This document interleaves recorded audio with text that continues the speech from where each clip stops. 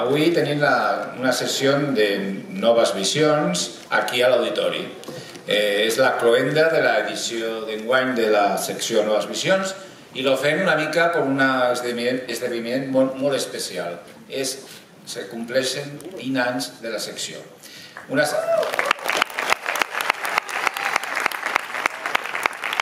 En el 2003, un, un any que va estar marcat també per el paso del festival a temps d'hivern, no sé si ho recordeu algú, eh, també lo recordareu perquè van passar Kill Bill, però això és altra cosa.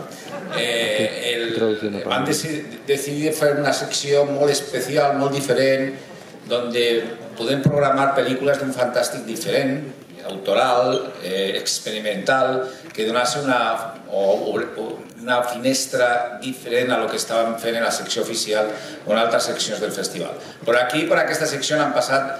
El primer guanyador va ser Ascension, del Karim Hussein, una pel·lícula eh, que responia molt bé a la idea de la secció, però per aquí han passat des de Werner Herzog, el Sion Sono, el Shinya Sukamoto, el Hitoshi Matsumoto, el, eh, el Armani Escalante que va guanyar con los Bastardos, el, el, el, el Werner Herzog, que va presentar Liz Liman, eh, directors consagrats, nous directors, directors que, empezà, que començaven la seva trajectòria, un grapat de gent absolutament fascinant i que després s'ha demostrat que eren grans. El, el, el, el, la nova visió també ha creat un públic, una, un, un aficionat que probablement abans a lo millor no, no, no hi era al festival i que probablement també hi era i ha obert també una, una finestra en la seva percepció del fantàstic diferent. Són 20 anys absolutament meravellosos per als programadors d'aquest festival. Jo crec que és una secció que ha crescut, que té la seu sede principal al Prado i que aquest any, per exemple, va, va molt de gust veure-la absolutament plena en moltes de les sessions.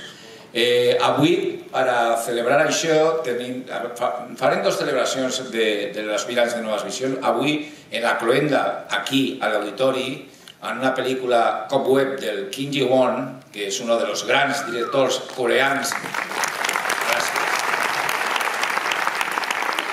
el que van tenir aquí con dos hermanes i eh, Bittersweet Life i I Saw the Devil, que va estar dues vegades al festival, o la primera i la tercera que he dit, i que aquí presenta una, una pel·lícula sobre algo que és molt de noves visions, el cinema dintre del cinema, el cinema dintre del rodatge d'una pel·li.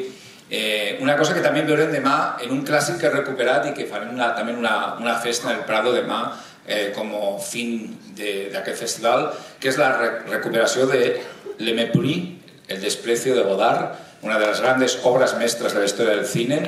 Eh, sí, sí, aplaudeix, no, sisplau. i que tindrà una, una versió remasteritzada en 4K que és una eh, autèntica bellesa.